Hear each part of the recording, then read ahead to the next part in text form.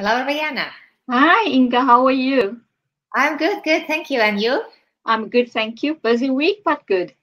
Fantastic, fantastic. I'm so excited to have this uh, Facebook Live with you again. Yes, um, I think it's a good follow up to last week, and I've been getting good feedback, and people have been saying it's been helping them. And funny enough, not only from an employer perspective, but from an employee perspective, because um, they're listening in terms of the tips that we're giving and they're applying it to themselves from an employee perspective, which is really good. Fantastic. Really fantastic. And I got some feedback as well, some uh, messages on Facebook and on LinkedIn as well, interestingly. People saying that uh, thank you for sharing uh, these uh, insights and tips as uh, they really appreciate. And uh, one of the feedback that I received also that people like that it's quite short. It's half an hour and it works so well that they can listen that on the way to work or on the way back, uh, like on their commute. So it's uh, it's good timing as well, not just content but timing as well. Exactly, and I think what's good about it because um, the one feedback that I got, uh, she said she had an employee performance appraisal like the next day, and and the video came up, and she said I'm so glad it was there for me to watch, though you recorded earlier in the day and I watched it that evening and then I used the information in there to prepare for my meeting the next day. Fantastic. And according to her, her meeting went well. So yeah, I, I think that's good if we can reach out to people and help them. Great.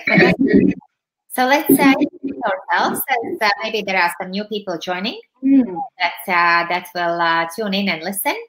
So my name is Inga Ezera. I'm a personal brand development, uh, leadership development, and uh, business development mentor and business partner. I help uh, business owners, executives, and um, managers of the companies uh, to manage people performance, uh, develop business, and uh, obviously develop your personal brand as well. So it's all about development, people, business development.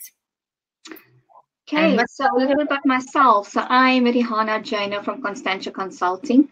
My background is predominantly in human resources, and I work with businesses to help them grow their business actually through their people. Because if you think about it, people they are the heart of any business, mm-hmm. and you're only as good as a manager with a team that you have around you. So I come in, yes, from an HR perspective, and I help you look at how compliant are you with legislation, irrespective of the country that you're in, because I do international HR. But I also help you with things like we're discussing today in terms of performance reviews, how to give feedback, and also if you have a difficult um, employee, how do you manage those employees? And then do you have the proper policies and procedures in place to motivate, retain, and engage your employees? So that's me, and in terms of what I do for my clients. Fantastic. How aligns uh, that uh, about people, business development, uh, leadership, uh, management, and uh, culture comes in place as well there. Yes, exactly. Yeah. So you had uh, quite some performance conversations during last week. what have you noticed that? what is the most frequent question from managers regarding preparation to performance reviews? For me, I think what it is, and this links back on to what we mentioned briefly last week about managers and you know why don't they why aren't they really prepared for performance reviews? I don't think it's they don't want to do it. I think mm-hmm. it's in mm-hmm. terms of pre- preparation. And I think the question comes down to do they have the necessary skills to be mm-hmm. able to do that performance review and give performance feedback? And secondly, do they have confidence to deliver effective feedback? Absolutely. And when I speak to my clients and line managers, then I think it's more around the confidence aspect and how do I manage difficult situations during the performance review. Mm. Yeah. From one perspective, of course, confidence comes with experience and yeah. uh, doing it.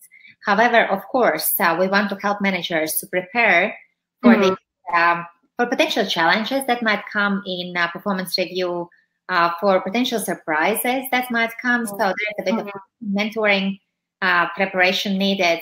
However, of course, what I've noticed, uh, what helps in uh, building confidence is uh, thinking in advance how I am preparing, what kind of questions I will ask, what kind of yeah. feedback I will provide, and what yeah. kind of roles the employee has had. So have I gathered the feedback on uh, mm. what preparing performance management? Mm. What are your tips and uh, how do you help uh, managers to kind of uh, grow the confidence? Uh, yeah, so what I have done with managers in the past, um, they've asked for one to one coaching. Mm-hmm. And what I've done is, is that I have done a one to one session with them in terms of taking them through the performance review and performance feedback. So, how do you set objectives? What do you look at? How do you evaluate behavior? And how then do you give that feedback? And in that coaching session, I would then act as an employee and they the manager and they're giving me feedback. And in that way, I can give them feedback. Mm-hmm. Um, and then we do it actually. So we'll have employee number one come in and they understand the manager's being trained up in the process. Mm. they know that I'm sitting there to observe and give feedback, and I help them actually do the performance feedback with the employee. We ask the employee to give feedback as well.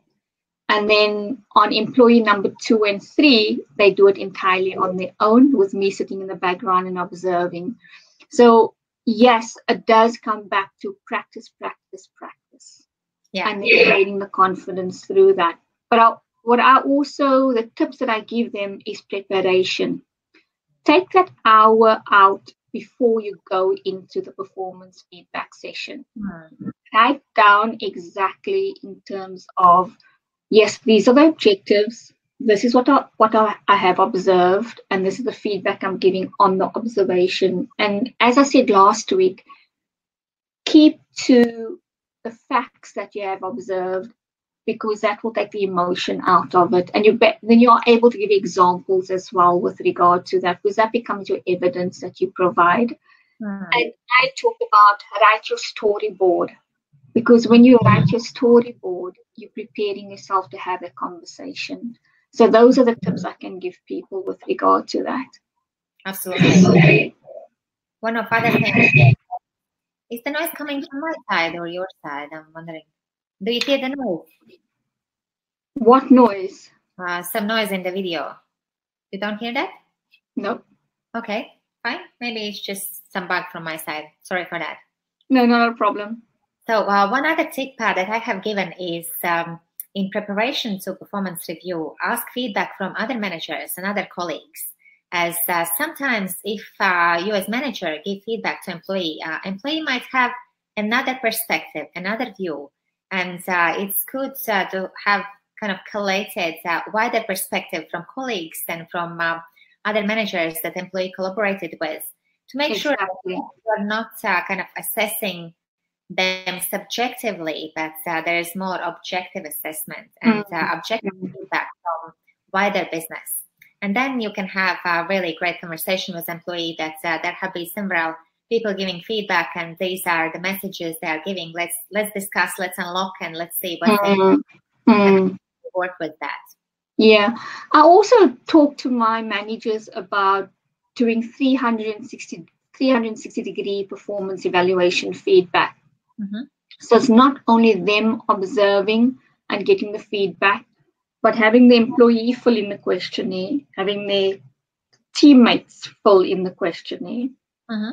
having the clients fill in the questionnaire, and then whoever else that they're delivering that service to, whether it's internally or externally. Uh-huh. And then obviously the manager themselves complete the questionnaire and then taking all of that information because it comes back to what you're then saying is it becomes more objective. And what they then do is they would look for themes and bring all of that information together and cluster it within those themes. And it makes it easier then to give feedback. Now, a lot of people say about 360 degree performance review feedback is a lot of work. Again, mm. think about it in terms of for how long are you going to be doing it? And it's very important that that individual gets feedback because one, they then know whether they're performing in the position or not. Two, they will understand what the development areas are, and they will also know in terms of what areas do they need to improve upon. Mm. But it also helps you to give feedback from others because it substantiates what you as a line manager have picked up as well. So the feedback is not only coming from you, but from a broader audience. Yeah. Yeah, absolutely. And uh, one of our concerns, usually that uh, people have with 360 as a great tool for feedback, one concern is that uh, will people provide objective feedback uh, or they will just write something polite down? Mm one of the things that helps is uh, in preparation is to slightly educate feedback providers and uh, have a conversation in advance mm-hmm. saying I really appreciate honest uh, feedback so please before filling it uh, take some time to think about it and uh, I will not take it personally but I will take it seriously so please do provide what are my strengths and what are my development areas what worked well and what I could do differently so this kind of tip helps to eliminate doubt about whether this 360 would be honest and uh, kind of uh, um, unlocking uh, what, what's really going on. Exactly. And I also find what is helpful is that you obviously have the objectives in terms of the deliverables that they need to deliver on the outputs of the role that they've got. Mm-hmm. But then you've also got the, let's call it the soft skills that they're going to be able to assess as well. And for those soft skills, which are actually competencies, you will have certain behaviors that you need to observe. So, for example, if it's a listening skill the person need, you know, how do they are they really actually listening to what's being said to them? Uh, do they feed back to what they have heard to make sure the information is correct that they're getting? Mm. So when you give, um, let's say, the peers and other people the questionnaire to complete to give feedback give examples of those behaviors that they can then pull out and say you know again this is what we've seen and this is where we've seen it and so they bring it again back to specific examples so it helps with the process then people don't have to sit there and think oh what am i going to say and I don't really want to come across as a, as I'm being negative, mm. but I need to give the person feedback. So again, if you can keep it to the factual information as much as possible, it helps because it takes the emotion out of the process. Absolutely, and that's really what, what you say is really important. That uh, make sure it's really factual and uh, the emotion or mm. personal is taken out of the process. It's about behavior. It's about the results it's about the outcomes that uh, the person has or has not generated. But yeah. it's not about uh, emotional. It's not about personality as such or person, but yeah. About their impact and about their behavior and results that they're yeah. This is this is the, the, the distinguish that uh, managers need to take into account. That uh, make sure that uh, it's it's not personal, but it's practical and it's about behaviors and outcomes rather than person and personality. Exactly. And it comes back to the point we spoke about earlier make the time to mm. be able to do it. Mm. By putting in that extra time beforehand will make the process easier. Mm-hmm. But if you go into any situation unprepared, then you know the situation is going to take that much longer because you don't know how to manage it and it's almost firefighting and you yeah. don't want to be firefighting in a performance feedback review session. Absolutely. Want to pause and encourage uh, people who are listening. Uh, if you have any questions, please mm. write them down under the video, either during this conversation or later on. Uh, we will definitely pick them up. Uh, if it's during this conversation, we will uh, pick them up uh, and answer straightforward and directly. if it's after this um, Facebook Live session, then we will answer under the video uh, when we pick uh, these questions up or PM us after this uh, session if uh, you kind of don't want to uh, publish your question then uh, feel free to message us and we will definitely help with the answer to your question related to performance management. Yeah, definitely I agree and I um, second in terms of what you're saying, Inga. the other thing which I just thought about while you were talking is that managers sometimes don't know how to manage a situation when an employee brings up something new into the performance feedback session. Mm-hmm. And what I advise managers at that stage is to say, to let them know you are taking into consider into consideration what they are saying, but at that moment in time, you cannot give them feedback on that specifically because you need to obviously go and do your research on it and then be able to give them feedback. So don't just ignore it and just go on with what's going on the paper. Mm. But listen to what they've said, acknowledge it, and say, I'll come back to you on that after the session. I don't have enough information to give you feedback on this during the session. That's because that tends to happen where employees tend to bring in new information. Mm. That's really fantastic advice. As uh, this gives confidence to managers that they don't have unlock all the challenges within the meeting. If something new comes up, then they can uh, pause there and say, "Let's come back to this uh, in a definite period of time. I will explore this as I don't have this information so far." Yeah, yeah, yeah. Mm-hmm. No, quite. That is really important because then the employee also from their side feel they are being heard and listened to mm-hmm. and now they'll get feedback on the new information that they provide. Mm. And also, managers need to encourage employees to also bring examples with them to the performance feedback session. Because a performance feedback session is not only a one way conversation, it's a two way conversation. So it's me as a manager giving feedback to you as an employee, but I need to sit back and listen to your feedback that you're also giving on that objective.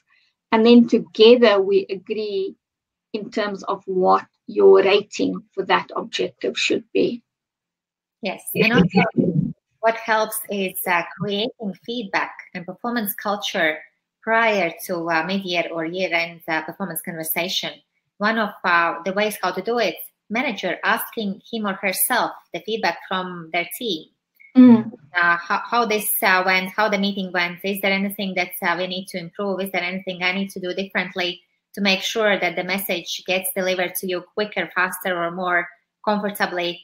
So uh, constantly, when uh, we as managers constantly ask for feedback and provide the feedback uh, during the day, during the week, during the months, and during the half a year, then um, our people they get used to it. They learn it. That actually it's okay to mm. uh, give feedback and to receive feedback.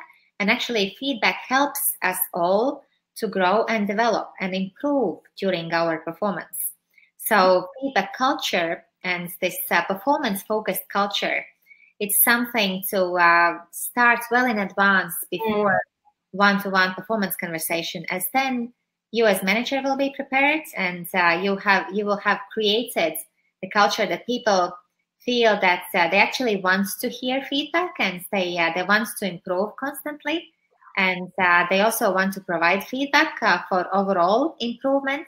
Mm-hmm. and uh, employees will come prepared and uh, ready for giving and receiving feedback as well. So it's about not just about um, performance conversation but creating performance and feedback culture in in your team. Exactly and something else as well, which I tell managers, is that as a manager, I have a manager. So obviously, I am going to have my performance review with my manager.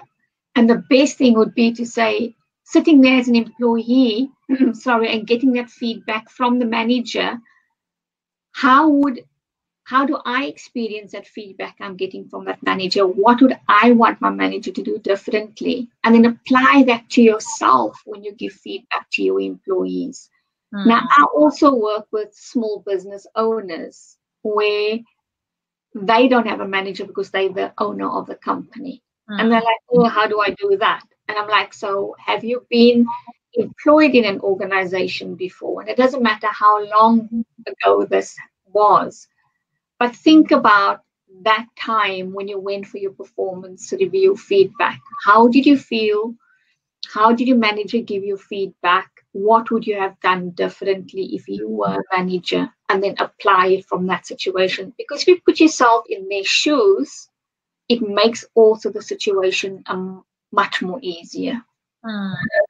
Yes, and it's also uh, it's thinking about uh, what, what, you enjoyed and what you liked and what you didn't uh, when you received uh, feedback, and it's also leading by example. As an mm-hmm. example, a couple of weeks ago, one uh, business owner came to me and he said, uh, "You know, my managers in the company that report into me, they don't manage performance well of their teams and employees." They don't provide feedback. They don't set goals. They don't have these one-to-one conversations. And uh, I said to him, okay, let's have a conversation. So let's start with you. Yeah. Have you set the goals for your uh, direct reports? He said, no, but they should know what they need to do. I said, do you have one-to-one conversations on kind of uh, at least monthly basis? Yeah. Oh, no, we talk uh, every day. I understand you talk every day. However, do you have one-to-one conversations where you provide feedback on how they are doing, what they're doing well, and uh, what they need to do differently? Not really, but is it not their job to do it to their employees? And then we had the kind of conversation that's actually we as leaders, we need to lead by example. If you expect that from your direct reports, uh, then uh, although you are founder, you are CEO of the company, uh, you're business owner, and mm-hmm. reporting to you. So that means that they look up to you as a leader and uh, they they judge like they, they think they assess uh, what he's doing and uh, how, how do i need to replicate that in my team so we yeah. had a conversation that it all starts uh, from the top mm, mm, mm. and that's so true because yes they should be doing some things with the employees but they also your employee hmm. so even though you've got that hierarchical structure within a company you need to treat your line managers as employees and like you say lead by example because you want them then to go and do certain things within the business hmm. and you can only do that if you provide them with the tools yourself hmm. and the information that they then can share with them with the rest of the employees in the organization yes and then uh, I did um, a workshop uh, for his uh, team leader, for his uh, direct reports managers uh, for leading the teams mm-hmm. on performance management. And in this workshop, uh, of course, we talk about the concept and we we work through the tools and techniques. And one of the frequent feedback from this team was from from these managers. They said, "Well, actually, he and and they said he he doesn't go. Can you speak to him? we need feedback too. yeah, exactly. Of course, I asked them the coaching question. So, what have you done to get the feedback from your manager, from the owner of the company? And uh, of course, uh, I spoke with the owner afterwards and said, yeah. Your, uh, your team actually uh, your leadership team they they are uh, hungry for feedback they want to hear from you how mm. they are doing and uh, and there was a bit of a confidence thing as well in the conversation. Now we, we might think that, well, he's a business owner, he's the CEO of the company, he needs to have confidence yeah. to, to, do whatever is expected of him. However, we are all humans, and uh, if we don't have experience in some particular things, say in some particular areas or conversations, then we might lack uh, some tools or confidence how to manage these kind of conversations. Exactly. And I think, you know, these days, if you look at organizations, it's so diverse in terms of people with different backgrounds, different cultures. Um, English not being their first language could be the second or third language. But if the business, if the if the language in the business is English, then you've got to think about as well in terms of how do I communicate to make yeah. it easy and understandable for the person getting the information, especially in a performance review feedback. Mm. Because you don't want them walking out with, hmm, I'm not too sure what I understood by that. Mm. Is he saying I'm not good at my job when that is not what you're saying? So all these subtleties that we have to take into consideration and then coming to managers themselves if they also come from a background similar to where English is not their first language, they've not yet done this before, it's a dumb, double whammy in terms of, of self confidence. Especially when giving feedback to someone whose first language is English. Mm. And, and again, it comes back to preparation. Prepare, prepare, prepare. Mm. And if it means that you do it the day before and you practice it, just sitting there as if talking to somebody in a chair, even though there's no one, mm. it hmm. gives you some of the confidence. And also by practicing it, it embeds some of the information um, subconsciously mm-hmm. so that when you go into the situation with your employee, you're not 100% fully prepared for what's going to happen in the situation, but you're 95% there. Absolutely. Absolute must. One of um, the strategies in preparation is preparing your mindset as well. Mm-hmm. As uh, sometimes, depending from personality of uh, the leader, they are uh, tempted to either pay attention only to great things and mm-hmm. only positive feedback, or they are tempted to kind of look at uh, employee from only developmental perspective and see what needs to be improved, what this employee is doing wrong, and uh, what they're not doing enough, or some other things. So, of course, there is a balance needed, and uh, as we discussed previously, the right mindset that you come into conversation with um, with support and mm-hmm. encouragement and empowerment for mm-hmm. to excel so by nature, you should feel that actually this conversation is uh, to help employee yeah. either be even better in uh, what they are great at or to improve what they need to improve. So this mindset of uh, good intention yeah. Uh, and uh, assumption that uh, actually employee wanted to do their best. Mm. in some things they succeeded and some things maybe they didn't, but they wanted to do their best. So these two things good intention and uh, assumption that employee wanted to do their best. And that helps to have the right language in the conversation, the language which is uh, supportive, uh, empowering, and uh, caring. Mm.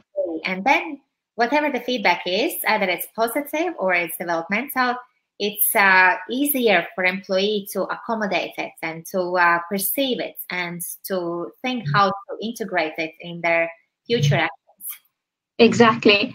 And the mindset is really important because I think some managers think, oh my God, there's going to be a conflict in that mm. performance feedback session.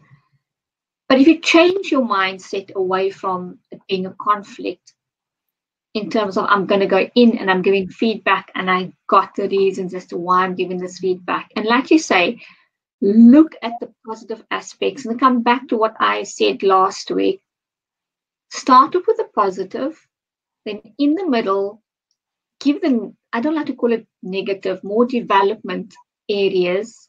Mm. And yes, if, if there is feedback that is negative, look at how you can paraphrase or rephrase that negative um, information that's being given, and then end off with a positive part of it.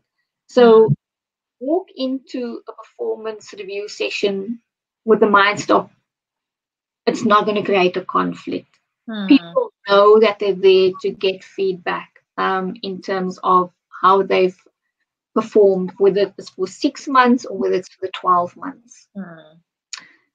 And I think the other thing as well is that what scares them is when an employee sits and challenges them hmm. in a performance review session. And again, do not look at as look at it as a challenge. It's the employee giving you feedback in terms of why they are differing with your opinion. So mm. sit back and listen to what they are telling you. Mm. And again, if you don't have the information to substantiate what they're saying, acknowledge what they're telling you and say, I will have to look into what you're telling me. So let's come back to that point at a later stage. And it could be that you will say, okay, we cannot um, complete the performance review today because that information is lacking. But let's reschedule time. Let me get that information and then let's revisit. Mm. Because you don't want the employee to think, oh, it's just a one sided conversation. They're taking me just through the process because they have to tick the boxes, but he's not really listening to what I'm saying. Mm. Because when you build up trust and credibility with the process as well. Mm. And remember, employees talk to each other. And if somebody's had a positive experience, they're going to tell their fellow employee, and that person will walk into the session with a positive mindset already. And you want to create that domino effect, as I call it. Absolutely. Uh, so that's uh, so mentioned really important fact that sometimes employees uh, bring different factors, start to argue, or have another opinion in the mm. conversation. And what's really important, uh, as you said, that managers are listening to that. And uh, sometimes it's just um, simple words as uh, "I hear you." Just mm. say "I hear you," uh, and that makes uh, employee feel that creates the feeling that manager is listening, that they're not yeah. ignoring or they are not kind of not willing to listen, but uh, sometimes the language that we speak makes such a difference. Uh, yeah. Just by saying, I hear you, uh, employee gets the message that, uh, yes, he is being heard. And mm. then a, a, manager can, see, uh, can say, uh, and I don't have enough facts in this about this situation. Let's pause it here. I will go and explore and let's come back at this and this date. Exactly. And I think also what's quite important is the fact that listen to what your employer is saying and let them complete their sentences. Mm. Don't midway just jump in. Mm. They're going to say, You're not listening to me. Again, you want to come up with your own opinion before listening to me telling you exactly what I want to say. So let them complete their sentences and then you come back with what you were saying. I hear what you say. I don't have the information at hand to look at this further right now. Could we park it for now? Let's go on to the other points and come back to that later. Mm-hmm. And when you come to the point then later and you still feel you don't have the information, then to say, you know, we are not going to be able to discuss this in this session because I am going to need further information, which you could possibly provide with me, but I will also have to speak to other people if they can provide the information. So, how about we reschedule the session and we finalize your performance review after we've got all the information on hand. Yeah. And the important thing is to not start arguing with employee and not start say fight yourself like as a manager don't say as you Rihanna said uh, that uh, don't start to kind of fight and uh, and jump into uh, when uh, employee is talking uh, if you see that actually employee is not right you can say, I hear you, and don't say but, because uh, but will kind of sparkle the conflict and sparkle the argument again. Say, I hear you, and uh, I, have had different facts as well to add into this situation. So again, the language that we choose instead of but, mm. and that already builds that kind of uh, more friendly and uh, more positive bridge into conversation as that immediately sparks uh, the arguments against you. Yeah. And also it could be that you provide the employee with some feedback and they will automatically become defensive. Hmm. and they jump in. And again let them vent and let them get it off their chest. Hmm. and you go back and you go back and and this this is the other thing I wanted to say is when you go with I hear you, it must come across genuine. It mustn't yeah. come across if you're just saying it for the sake of saying it. Hmm. And you can tell them I hear you. However, have you thought about it from the other person's perspective? Hmm. That gave feedback. You don't want to tell them who gave feedback, hmm.